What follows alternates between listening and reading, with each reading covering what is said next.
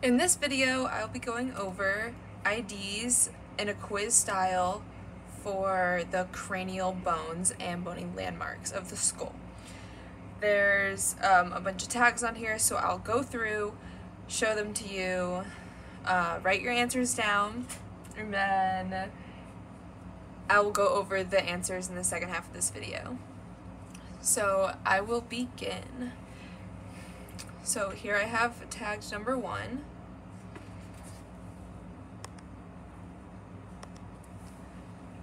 Number two, these are tags of the whole cranial bone.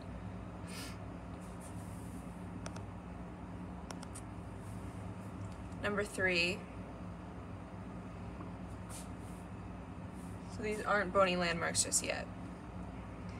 And number four,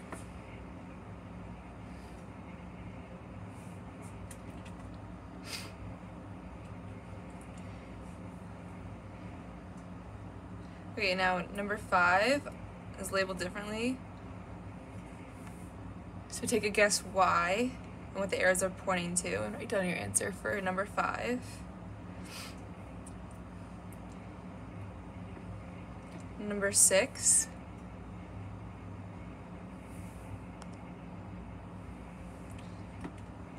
Number seven.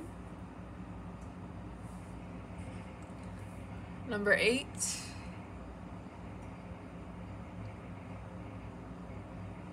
Alright, so now let's move on to bony landmarks.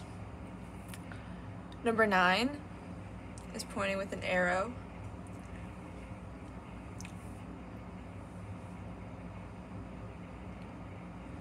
Number 10 and number 11.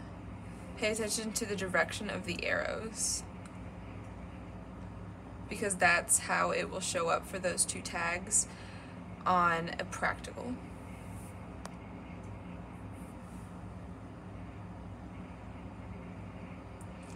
Number 12. 13. 14, again, pay attention to the direction of the arrows. 15. 15 might be a little uh, complicated, but it's basically pointing to the big structure in the that's not necessarily bone if that helps. And then 16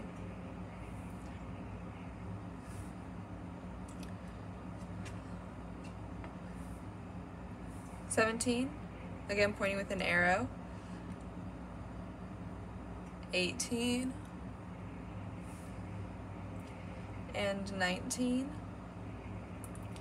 19 is tagged as the whole feature. See if you can identify the two bony landmarks specifically that make up this whole feature.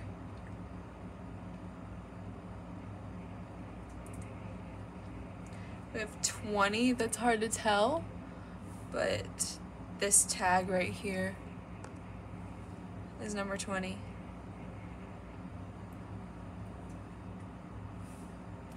And then 21.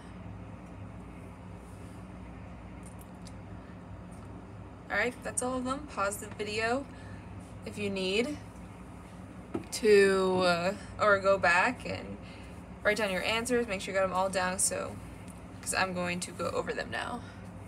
So number one is the frontal bone.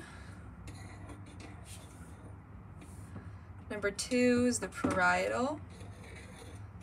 There's two of them. Number three, number three is the occipital bone. Number four is the temporal bone. Number five is the, oh, jeez. Number five is the coronal suture. Number six, all right, that's just gonna stay there for now, is the squamosal suture. Seven, the sagittal suture. Eight is the lambdoidal suture that's here. And it outlines the occipital bone. Number nine your supraorbital foramen. Here. 10 is your superior nuchal line, or sorry, superior temporal line, and then the inferior temporal line. 12 is the external occipital protuberance. 13 will be the superior nuchal line. 14, the inferior nuchal line.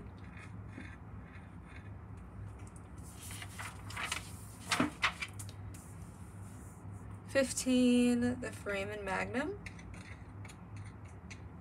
16, the occipital condyles. 17, external auditory meatus. Here. 18 is the mastoid process. 19 is the zygomatic arch, being made up of the zygomatic process of the temporal bone and the temporal process of the zygomatic bone.